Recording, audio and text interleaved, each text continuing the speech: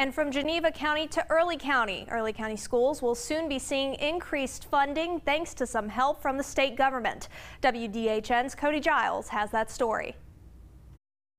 The Georgia Land Forest Protection Act adds an ad valorem tax exemption for the use of Georgia land to grow timber or be a natural habitat.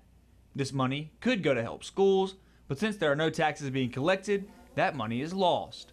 So, money is being reimbursed into schools and Early County will be receiving more than $500,000. So we lost tax money that was coming into the county that would have come to the school system, but at the legislature, they approve um, the money coming back to the school systems. And with the global pandemic, changes had to be made across the board and not everyone had the ability to learn at a distance. Of course, a push with COVID to digital learning was fast and furious, and not all of our kids had devices this year.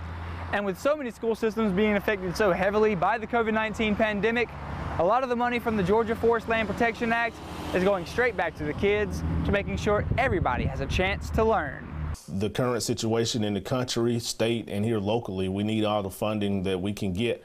And oftentimes, education is forgotten. So now that we have some extra money, maybe we can put some things in place to better serve children. And really looking to make sure that we're meeting the needs of our students. So it could be devices, it could be personnel, uh, it could be programs. In Blakely, Cody Giles, WDHN News for the Wiregrass.